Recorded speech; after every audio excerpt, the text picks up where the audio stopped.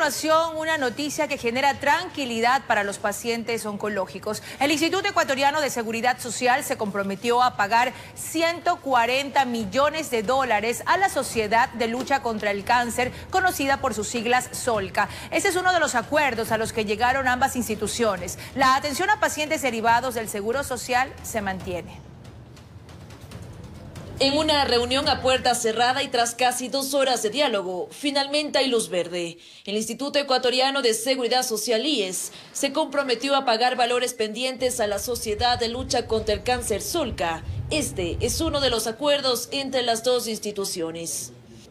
El IES se compromete a utilizar 140 millones de dólares que, van, eh, que vamos a recibir de una devolución del IVA que a su vez nos servirá para cubrir las obligaciones pendientes de años anteriores incluso que el IES tiene con Solca. Los pagos se realizarán hasta el 31 de mayo de este año, acorde a cómo se vayan liquidando las cuentas y lleguen los recursos del Ministerio de Economía y Finanzas. Las autoridades ratificaron que se va a seguir garantizando la atención a pacientes oncológicos derivados del IES. Y en el acuerdo se se manifiesta, eso se continuará atendiendo sin ninguna restricción a los nuevos pacientes, porque los actuales sí se los está atendiendo.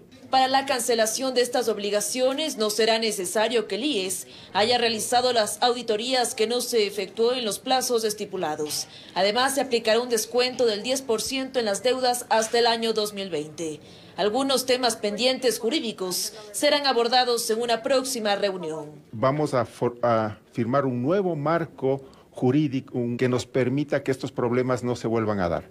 Esta noticia deja tranquilos a los pacientes oncológicos, pues podrán seguir con sus tratamientos médicos, que son una esperanza de vida. Pero si nos atienden me están alargando mi vida. Es importante que se nos siga atendiendo. Usted sabe que el tratamiento de cáncer es un tratamiento caro. Informó Priscila Cadena.